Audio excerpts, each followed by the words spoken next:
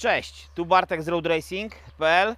Yy, Dzisiaj mam dla Was film o tym motorowerze, o specjalizadzie Tarmacu SL Expert w wersji DI2. Yy, Przy okazji filmu oczywiście konkurs dla Was. Dwie koszulki ostatni, z ostatnich konkursów właśnie pojechały yy, dziś, do zwycięzców, między innymi do Krakowa. E, Także bardzo się cieszę, że mogę Wam takie, taką przyjemność e, zrobić. E, I dzisiaj przy okazji tego filmu również konkurs, również koszulka od Specjalizeda do wygrania. Mm, W dalszym ciągu jest jakiś wybór w rozmiarach, także można, można się troszeczkę, można troszkę ponegocjować. Warunki są proste, subskrypcja na tym kanale, polubienie tego filmu, komentarz pod tym filmem i subskrypcja na Instagramie, o ile ten Instagram posiadasz. Także takie są warunki. Natomiast teraz zapraszam Was na film po filmie, po tej części takiej y, gdzieś, y, gdzie będzie zaprezentowane jak ten rower jeździ, jak, się, jak tam żeśmy sobie z tym testem y, poradzili, zapraszam na drugą część, na omówienie. Także trzymajcie się z tym filmem do końca. Po, po tej części jak najbardziej będzie te pełne omówienie roweru. Wjeżdżamy do rynku bolesławieckiego. Zacząłem Wam pokazywanie tych okolic od Groźca i tam w Pilchowicach. Powinienem zacząć od rynku własnego miasta nadrabiamy zaległości.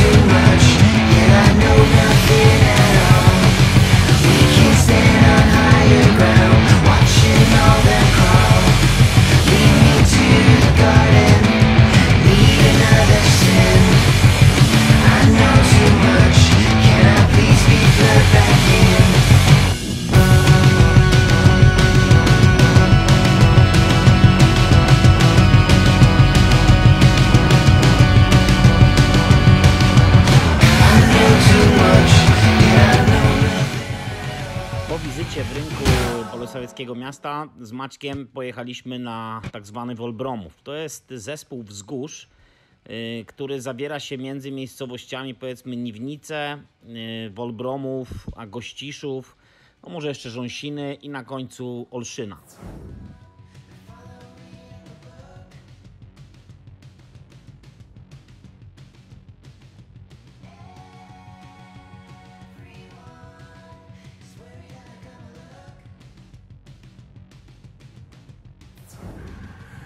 Wejście w zakręt tarmakiem jest łatwe i proste do ogarnięcia. Jednocześnie rower nie myszkuje po drodze przy jeździe na wprost.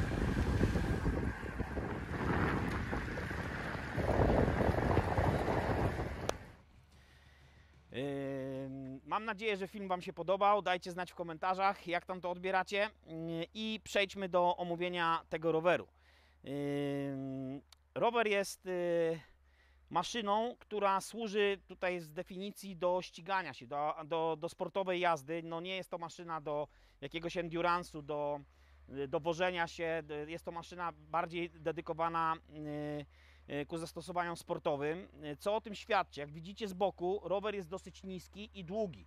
Yy, Proporcja stack do reach w tym rowerze to jest 1,30 około 1,35, gdzie konkurencja w postaci Treka Emondy SL7 to jest 1,39, BMC w okolicach 1,40 yy, i generalnie yy, z tej czołówki takiej rynkowej do speca się nikt nie zbliża, oni się raczej kręcą w okolicach 1,40. Yy, Czym to skutkuje? Nisko położony środek ciężkości powoduje, że ten rower się bardzo dobrze prowadzi. Fantastycznie się prowadzi. Super wchodzi w zakręty. Y, super y, reaguje na takie y, manewry powiedzmy w grupie, w peletonie, ja sobie to tam próbowałem na różne sposoby, jak widzieliście zresztą.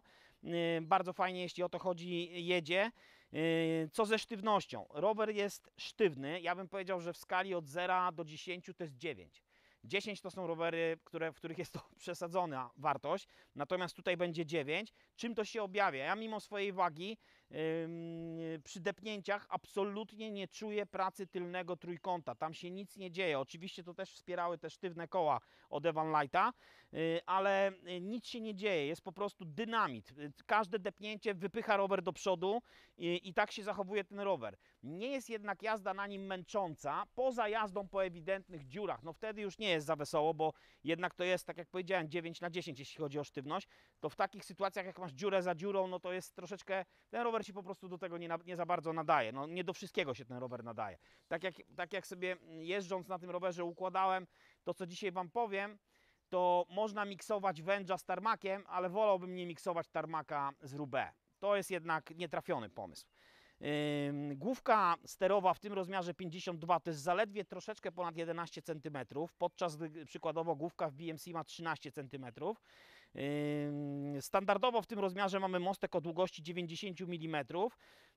Na duży plus zaliczyłbym sposób, w jaki specjalizet zintegrował ten przód. Jest to bardzo estetycznie zrobione, fajnie to wszystko im wyszło, a jednocześnie producent taki jak Spec stoi przed następującym pytaniem.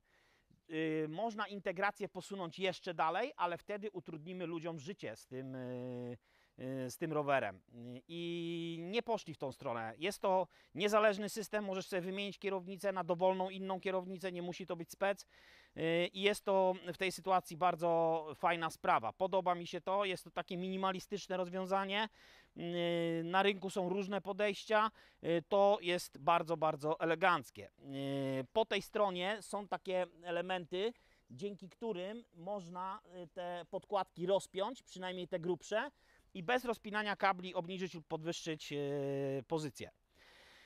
Yy, Okej, co, jak to jest jeszcze z tą sztywnością, skąd ona się bierze? No to jak, widzicie, jednak profile rur może nie są tu tak obszerne jak w takich klasycznych rowerach aero, ale jednak są troszeczkę wydłużone. Sztyce też mamy w tą stronę wyciągniętą, co wzmaga sztywność tego układu.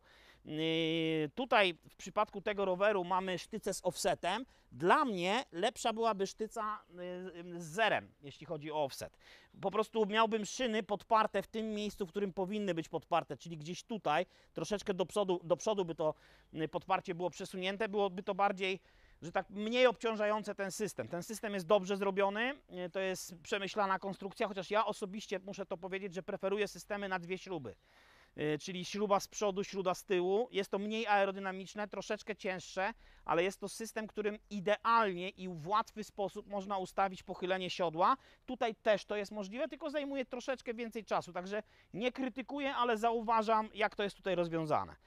Jeśli chodzi o mufę supportu, mamy tutaj mufę 68 na BSA w końcu. Y, Fajnie, że Spec, y, jak również inne firmy do tego wracają. Jest to bardzo dobry ruch, jest to ruch w stronę klientów, jest to rozwiązanie problemu, który został stworzony nie bardzo wiadomo po co z tymi presfitami i całej tej zabawy. Jeśli chodzi dalej o tym jeszcze jak, jak wrażenia z jazdy na tym rowerze. Na zjazdach prowadzi się bardzo pewnie.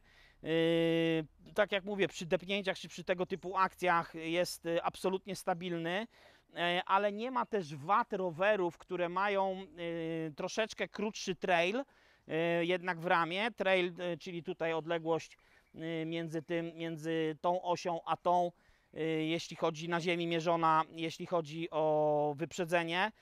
Im mniejszy trail, tym bardziej nerwowo prowadzi się rower, tym bardziej cofa się koło pod ramę tak naprawdę.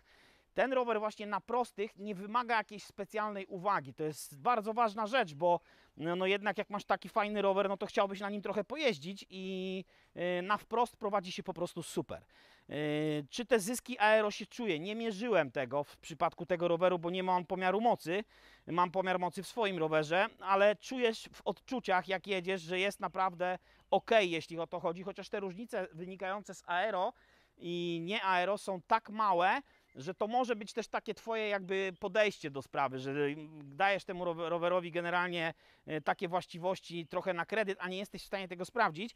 Niemniej jednak y, wyliczenia specjalizeda, które są robione, muszę to przyznać, przy trochę kosmicznych prędkościach, przy 50 km na godzinę, mówią, że ten rower jest o kilkadziesiąt sekund szybszy od SL6, od poprzedniego modelu.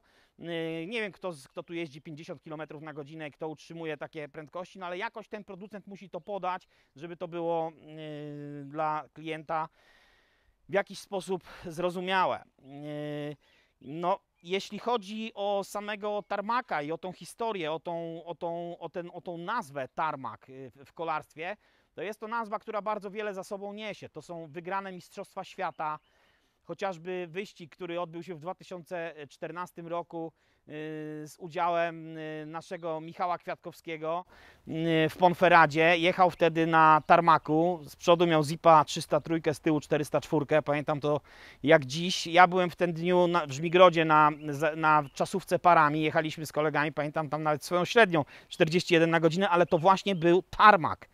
Yy, I moim zdaniem najlepsza akcja w wysokich górach ostatnich 15 lat w zawodowym peletonie, czyli fenomenalny dzień na Giro, 16 etap, yy, Alberto Contador kontra Astana. Tak w skrócie Wam przypomnę o co chodziło.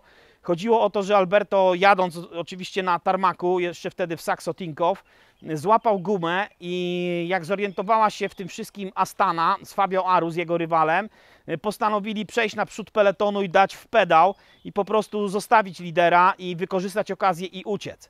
Niestety goniący był jeden z najwybitniejszych grand turowców w historii, fenomenalny Alberto Contador. Y, Już na prostej, na dojazdówce do Mortirolo poszedł full gas, no po prostu sam walczył z tym wszystkim. Dojechał do podstawy tego podjazdu i zrobił rzecz niewiarygodną. Zlikwidował 50-sekundową y, przewagę y, Astany, dopadł ich, jadąc po prostu kosmiczne kolarstwo. To się tak wspaniale ogląda. To była taka historia. Ja to oglądałem wszystko przed telewizorem. Ja się darłem do tego telewizora. Ja trochę nie wierzyłem, że on to zrobi, ale jednak to zrobił. Dojechał do nich i jak to Alberto przysiadł na chwilę na fotelu i jeszcze poprawił. I to wszystko zrobił na y, Specializedzie Tarmaku. I takie historie nie mają wpływu na to, jak dokładnie jak ten rower wygląda, ale one są pewną historią związaną z tą marką, z wyczynami sportowców, którzy używali tych rowerów. Ja zawsze mówię, że to kolarz jedzie na rowerze. Absolutnie nigdy nie powiem, że rower jedzie, że będę używał rowera, roweru, przepraszam, przed kolarzem. Nigdy tak się nie będę wysławiał. Zawsze jest najpierw kolarz, później jest rower. I tak chciałbym, żeby było. Jeśli chodzi o szczegóły roweru Alberto Contadora, to był to rower na Durace'ie Di2, kołach Roval CLX 40 pod szydkę. Fenomenalna maszyna, która nie zawiodła w tym momencie, kiedy Alberto między innymi kolarzami jechał, jakby był kolarzem z innej planety. To było niewyobrażalne, jak on to, jak on to zrobił. No, żeby nadmienić i być z Wami tutaj y, szczerym, y, Astana też jechała na specach, także takie życie. Okej, i takie są, takie, takich historii Specialized ma całą masę, to jest prawdopodobnie, raz, że te rowery są bardzo dobre, ale to jest trafny marketing tej marki, obstawiają właściwe konie y, w peletonie i tak to później wygląda. Ostatnio może w Grand Tourach jest trochę mniej sukcesów, ale ja widzę jedną osobę, osobę która może to zmienić za jakiś czas, która już w tej chwili jeździ na y, specu, to jest Remco Evenpool. Y, Kiedyś siedząc przy stole z moim szefem z Belgii, nazwałem go Evanepool. O, no dostałem szkołę, jak to się naprawdę wymawia. On jest akurat z Flandrii, y, jest Belgiem i no nie, nie do końca tak, jak my to wymawiamy. Ok, ale wracając do tego roweru. Jest to mm, rower również dosyć lekki. Yy, Z tymi kołami waży 7,1 kilo- 7,71 kg, ale kompletny, czyli z pedałami, z uchwytem na Garmina, z koszykami, tak jak stoi po prostu. Yy, Czyli jest to no, bardzo fajna waga. Oczywiście są jeszcze lżejsze rowery, ale jest też cała masa cięższych rowerów. Yy, W tym także jeśli chodzi o wagę, jest w porządku. Jest to rower dla pewnego konkretnego typu kolarzy. Yy, Dla kolarzy, yy, którzy no, lubią dynamiczną jazdę, ustawki, wyścigi, yy, segmenty na strawie, cokolwiek, ale naprawdę taką jazdę z ogniem.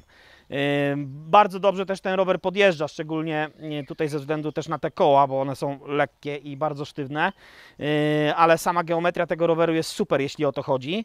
E, Sprawdzałem, porównując z takimi wiodącymi rywalami, bo tak jak mówię, to nie jest najlepszy rower na świecie, ja nie uznaję czegoś takiego. Dla mnie to jest jeden z najlepszych rowerów na świecie. Do tej ekstra klasy na pewno bym zaliczył Treka, BMC, również Giant jest bardzo dobrą marką, chociaż istotnie tańszą. Mm, Jest tych Scott, jest tych marek naprawdę trochę w tej czołówce. I jeśli chodzi y, o ten konkretny rower, no to tak jak powiedziałem, dla sportowców, dla ludzi, którzy lubią na takim rowerze pośmigać, mimo tych w- 1,35, jeśli chodzi o proporcje stack do reach, da się na nim jeździć. No są tu jednak możliwe do zamontowania podkładki, tu są te podkładki zamontowane, jest tu pozycja pochylona, jest niska, jedzie się szybko, bo ten rower ustawia Cię w takiej specyficznej pozycji yy, i wszystko działa w tym rowerze również super. Jest on idealnie cichy, żadnego tam, żadnych tam dźwięków pochodzących od przewodów hydraulicznych czy czegoś w tym stylu. Yy, Jest bardzo ładnie, czyściutko zintegrowany. Yy, No i każdy szczegół tego roweru, tak jak już Wam wspominałem, jest dopracowany. Yy, Jeśli chodzi o cenę, no cena jest wysoka jak za taki rower, bo konkurencja, tak jak wspominałem wcześniej, daje trochę więcej. Niemniej jednak, no sens zakupu ja widzę w takim przypadku, jeżeli z góry założysz jednak, że będziesz upgrade'ował te koła. Bo jazda na kołach tych DT Swissa, które są oryginalnie do tego roweru yy, przez, yy, yy, dodawane, ujmuje temu rowerowi sporo. To trzeba powiedzieć naprawdę wprost. To jest, te koła nie pasują do tego roweru po prostu. Opony S-Works są bardzo fajne. Świetnie się na nich jeździło. Jeździłem na nich w deszczu. Yy, Rundki na tych, na, tych, na tych firmowych kołach, które są tu dodawane, robiłem w deszczu. Genialna mieszanka. Naprawdę Specialized robi na mnie wrażenie yy, również pod, w kontekście tych opon, które stosuję. Tak było w poprzednim rowerze, tak jest i w tym. Yy, Bardzo sprytne koszyki. Wydają się, że nie trzymają bidonów za dobrze, a nigdy nie ma problemów z, z wypadaniem tego bidonu. Nawet jak lecisz po kostce, a latałem. To była może drobna kostka, ale mam tutaj w pobliżu znacząco większą yy, też kostkę, na, którym, na której przetestowałem ten rower. Yy, Na tym rowerze chce się depnąć. To jest fakt. To jest rower, który aż zachęca do tego ze względu na swoją taką sprężystość. Tak bym to nazwał. To jest może nawet lepsze słowo niż sztywność. Sprężystość, że co depniesz, to idzie do przodu. Yy, I jest to fantastyczne uczucie. Yy, No cóż, fani speca, nie trzeba ich zachęcać. Oni, ich, jest bar, ich jest istotna e, liczba. Tak jak mówię, no spec w rzeczywistości rynkowej w Polsce jest jedną z marek premium, która ma też e, fajną organizację, e, w których pracują no, y, po prostu ludzie znający ten sprzęt, znający technologię, znający rozwiązania, świadczący usługi. To też jest ważne, jak się rower kupuje wbrew pozorom. E, Kupienie firmy, kupienie roweru od firmy, która no, nie ma jakichś struktur, może rodzić, i ja Wam to powiem z własnego doświadczenia, może rodzić problemy. Także to jest na pewno na plus. No z tą ceną, tak jak mówię, jest troszeczkę tańszy rower na Rowala, yy, yy, ale na manualnej Ultegrze.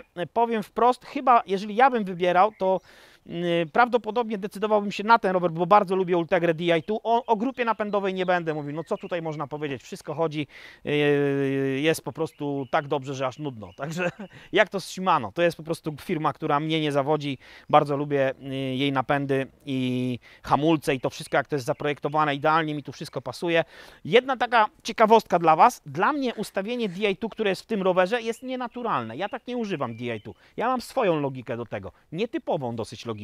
Dla mnie większy guzik to jest danie na cięższy bieg, czyli po tej stronie większy guzik, tu gdzie mamy obsługę przedniej przerzutki, to jest przerzucenie łańcuchu na blat. Tak mam w swoim rowerze ustawione. Tu było na odwrót. Jezu, jak ja się na początku mieszałem, jakoś się ogarnąłem yy, i, i poszło później. Także taka drobna różnica. Ja to inaczej ustawiam, mam inną logikę tego. Tak sobie to wbiłem do głowy, tak używam. Muszę też pochwalić tą kierownicę, mimo że to jest zwykła e, aluminiowa kierownica, ale ma fantastyczne gięcie i jest bardzo sztywna. Cały ten mostek jest też prostokątny w kształcie, to wzmaga sztywność tego przodu. No masz po prostu wrażenie, jak idziesz gdzieś w dolnym chwycie, że tu jest po prostu forteca z przodu. Yy, Także no jest to taki, można to porównać do BMW M-Power na pewno.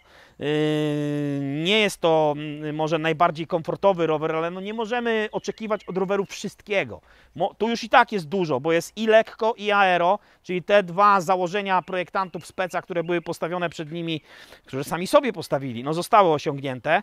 Yy, Kolejna jeszcze bardzo ważna rzecz, którą tutaj u nas można bardzo łatwo przetestować, bo jest masa wzgórz. Na zjazdach jest absolutnie odporny na boczne podmuchy wiatru. I tu z tymi kołami oryginalnymi DT Swissa, jak i z tymi Evan Lightami. Te 38 profil to jest bardzo fajny profil. Rama również nie, nie stawia takich oporów, bo te profile jednak nie są za wysokie. To wszystko jest zrobione z czuciem.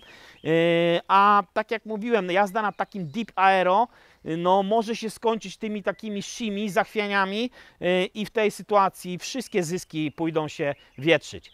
Yy, A tutaj no, możesz naparzać non-stop, nic się nie dzieje, roweru nie ciągnie w bok, rower się prowadzi z, pre z precyzją naprawdę taką maksymalną. To jest świetna cecha, świetnie zaprojektowana yy, geometria.